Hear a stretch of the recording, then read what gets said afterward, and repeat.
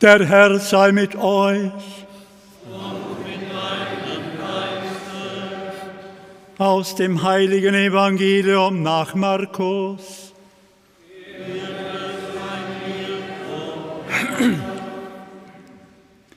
In jener Zeit ging Jesus zusammen mit Jakobus und Johannes in das Haus des Simon und Andreas. Die Schwiegermutter des Simon lag mit Fieber im Bett. Sie sprachen mit Jesus über sie, und er ging zu ihr, fasste sie an der Hand und richtete sie auf. Da wich das Fieber von ihr, und sie sorgte für sie. Am Abend, als die Sonne untergegangen war, brachte man alle Kranken und Besessenen zu Jesus. Die ganze Stadt war vor der Haustür versammelt und er heilte viele, die an allen möglichen Krankheiten litten und trieb viele Dämonen aus. Und er verbot den Dämonen zu reden, denn sie wussten, wer er war. In aller Frühe, als es noch dunkel war, stand er auf und ging an einen einsamen Ort, um zu beten. Simon und seine Begleiter eilten ihm nach. Und als sie ihn fanden, sagten sie zu ihm, alle suchen dich. Er antwortete, lasst uns anderswohin gehen, in die benachbarten Dörfer, damit ich auch dort predige, denn dazu bin ich gekommen. Und er zog durch ganz Galiläa, predigte in den Synagogen und trieb die Dämonen aus. Evangelium unseres Herrn Jesus Christus.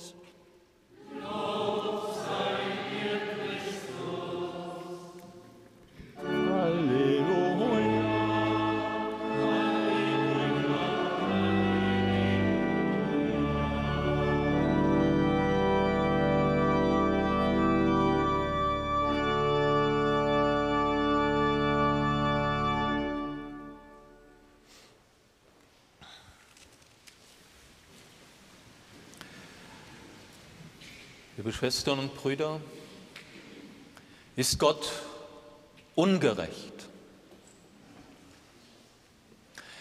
Fällt die oft himmelschreiende Ungerechtigkeit, all das Unrecht, das geschieht, das Leid, das es in dieser unserer Welt gibt, nicht auch auf ihn zurück?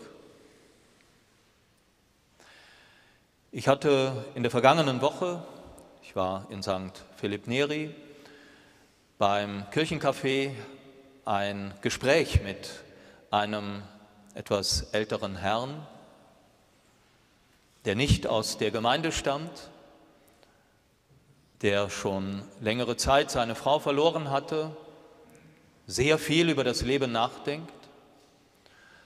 Und im Verlaufe des Gesprächs hat er ungefähr diese Sätze gesagt.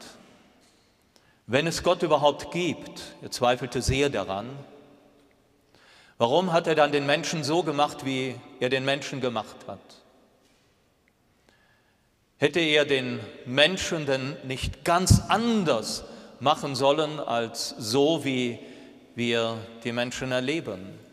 Manche, die einfach gut leben und andere, die unendliche Scheußlichkeiten verüben. Wäre es nicht besser, überhaupt gar keine Welt erschaffen zu haben, als die, die wir vorfinden? Ist Gott ungerecht? Wahrscheinlich hätte er diese Frage bejaht. Fragen, die viele Menschen mit sich herumtragen, und eine ähnliche Konsequenz ziehen an einen Gott, der eine solche Welt erschafft, solche Menschen, die so sind, wie sie nun einmal sind, denen möchte oder kann ich oder will ich nicht glauben. Es war ein sehr schönes Gespräch. Und ja, wie das so meine Art ist, ich habe versucht, auch ein paar eigene Gedanken zu sagen. Ich habe ihn gefragt, ob er denn lieber in einer Welt leben müsste, nun, sie gibt sie halt einfach mal,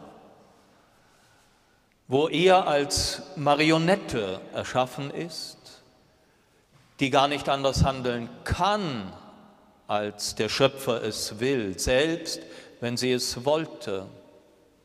Freiheit, eines der höchsten Güter, in uns, gerade auch in unserer Zeit, eines, eine der schönsten Gaben, die uns Gott mitgegeben hat, als Marionette in dieser Welt leben und dafür überall Harmonie.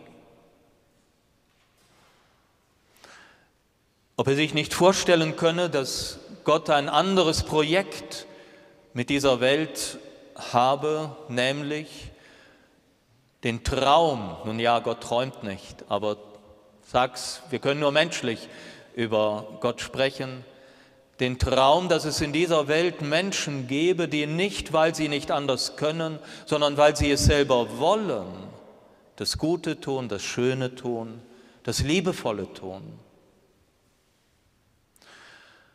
Und ich habe ihn natürlich auch gefragt, ob er betet und er nicht, aber ob er es nicht einmal versuchen möchte zu beten zu sprechen mit diesem Geheimnis, mit diesem oft so unverständlichen Gott. Und wenn es nur das Gebet ist, Gott, wenn es dich gibt, dann zeige dich mir.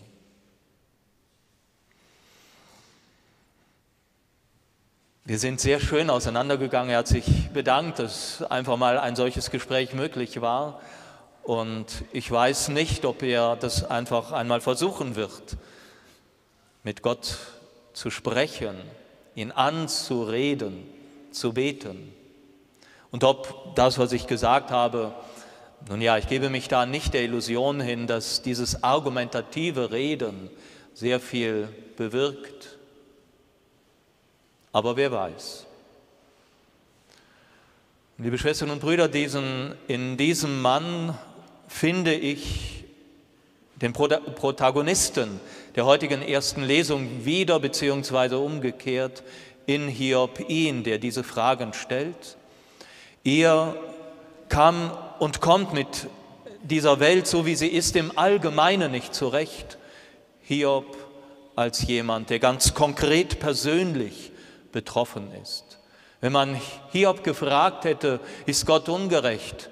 Ich bin ganz sicher, er hätte nicht gezögert zu sagen, ja, und genau das erfahre ich. Diesen Gott, der mich schlägt und ich weiß nicht warum. Der ein Willkürgott zu sein scheint und ich weiß nicht warum. Er weiß nicht, dass er, so ist das Buch konzipiert, gewissermaßen, dass Gott auf ihn setzt der Ursprung ist eine Wette. Satan hier als Ankläger gemeint. Hast du ihn gesehen, als er vor Gott auftritt, meinen Knecht Job, seine Treue? Und die lapidare Antwort, ja, ein Diener um Lohn, weil es ihm gut geht, dient er dir. Aber lege Hand an ihn und er wird dir ins Angesicht fluchen. Und Gott setzt auf Simon, äh, auf Hiob liebe Schwestern und Brüder, er setzt auf uns den Menschen. Er traut uns etwas zu. Die Wette gilt. Und das erfährt Job. Es ist ein unendlich kluges Buch, das genau je, das Erleben von so vielen Menschen in den Blick rückt die Erfahrung des Job, die Erfahrung so vieler anderer Menschen, eines Gottes, der das Unrecht zulässt, so viel Leid, nicht gerecht zu sein scheint, dem einen teilt er das zu, dem anderen jenes, Glück und Unglück, ungerecht verteilt. Warum dürfen wir in Frieden leben, die Menschen in der Ukraine nicht? Warum? Keine, es gibt keine Antwort. Ganz sicher nicht, weil wir es mehr verdienen würden als die Menschen in der Ukraine oder wo auch immer in dieser Welt. Es kommen und treten dann, Sie sehen es hier auf dem Bild, noch Freunde auf, die für Gott, nicht für ihn, für Hiob in seiner Verzweiflung, sondern für Gott Partei ergreifen, ihn zu rechtfertigen suchen. Und eine Theologie, die es in Israel gab und wogegen das Buch Hiob aufbegehrt, in eine mathematische Gleichung gießen. Das ist das Scheußliche an dieser Theologie, die aber auch etwas Richtiges aussagt. Da, wo wir schuldig werden an uns selbst, an Mitmenschen, hat es Konsequenzen, oft unschöne Konsequenzen. Aber ich darf es nicht in eine mathematische Gleichung pressen, sagen, da ist Schuld. Denk mal nach, irgendwas ist bei dir nicht in Ordnung. Das sagen Sie ihm. Denk mal darüber nach. Und zu sagen, da ist Schuld, da ist Leid, die Strafe für die Schuld, Schuld minus Strafe oder Strafe minus Schuld, wie auch immer, am Ende gleich Null.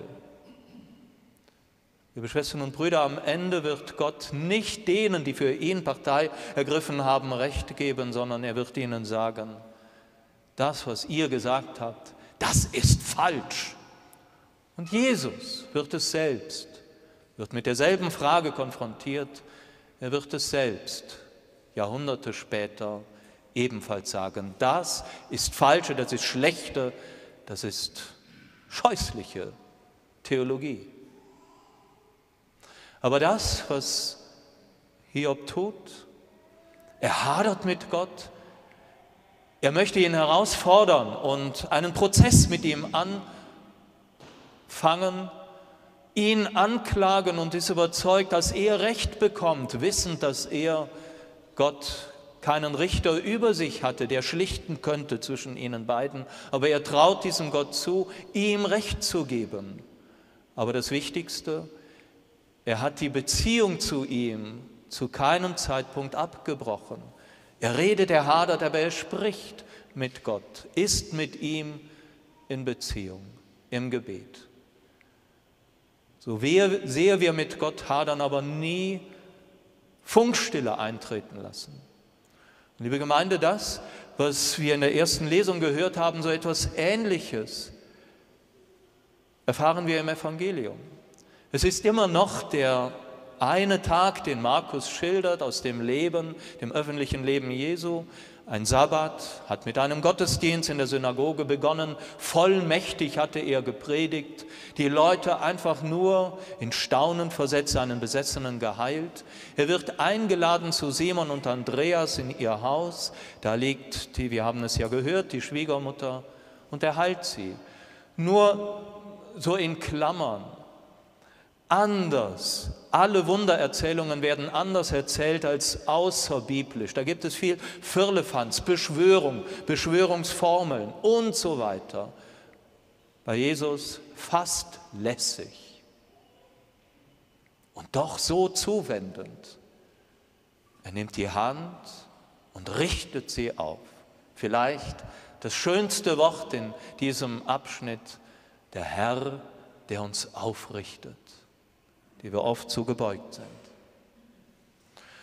Und das muss sich rumgesprochen haben, dass in der Synagoge, dass bei Simon Petrus zu Hause, als es Abend wird, also der Sabbat vorbei und es wieder möglich ist zu kommen, die ganze Stadt versammelt sich, so viele Kranke und Besessene, wie es heißt. Und Jesus heilt viele. Warum nicht alle? Warum diese und jene nicht? Vielleicht, weil keine Zeit mehr war, aber das hätte er ja am nächsten Tag fortführen können, vollenden können. In der Frühe steht er auf, geht in die Einsamkeit, um zu beten. Und wir dürfen sicher sein, dass die ganze Not, die ihm da begegnet ist, die Menschen, die er geheilt hat und all die anderen, die vielleicht in der zweiten oder dritten Reihe standen, nicht drankamen, dass er sie vor den Vater getragen hat. Alle suchen dich. Und natürlich steckt in diesem Wort, ja, und sie warten auf dich, sie hoffen auf dich, dass du kommst und uns heilst.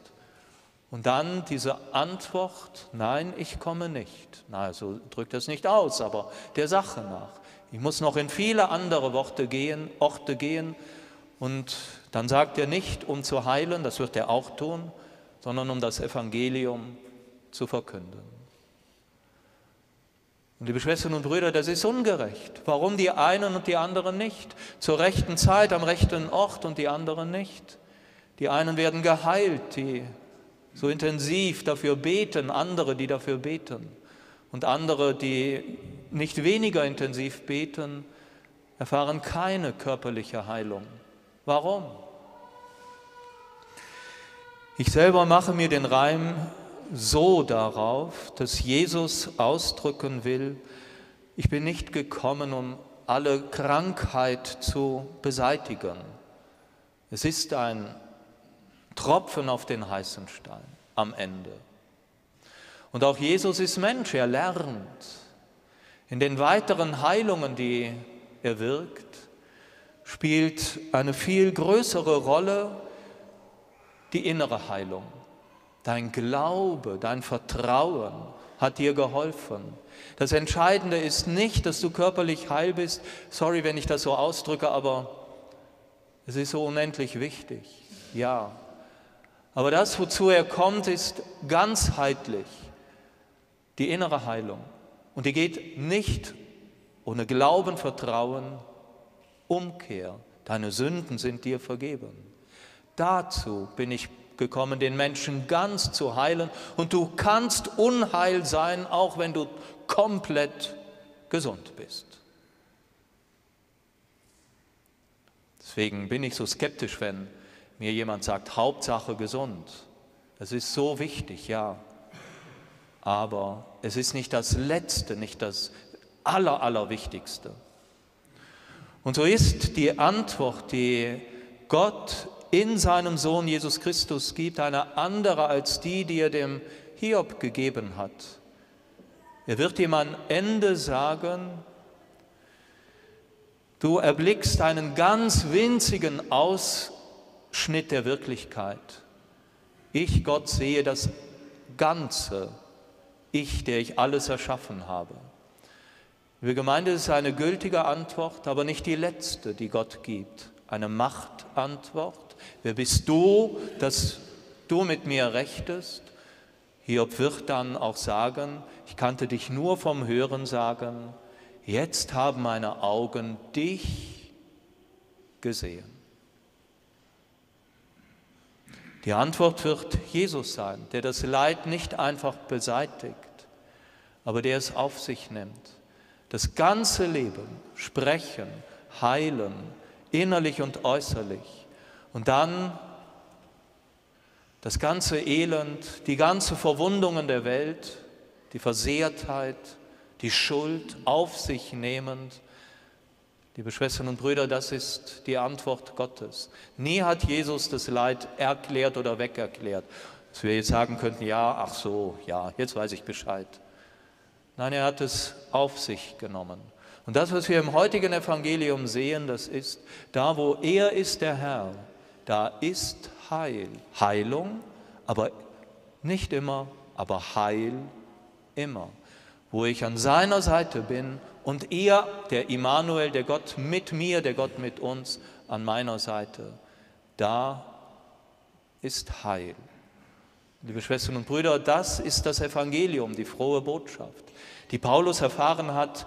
Ein Zwang liegt auf mir, dieses Evangelium zu verkünden. Kein äußerer Zwang, ein innerer, ein inneres Müssen, anderen Menschen daran teilzugeben, an diesem Evangelium, das das Leid nicht einfach beseitigt, aber es hilft, dass wir es tragen, dass wir es annehmen können, oft auch heilt und tröstet und uns die Gewissheit gibt, wo auch immer ich lebe, in welchem Dunkel auch immer, an seiner Seite ist es immer ein Weg ins Licht.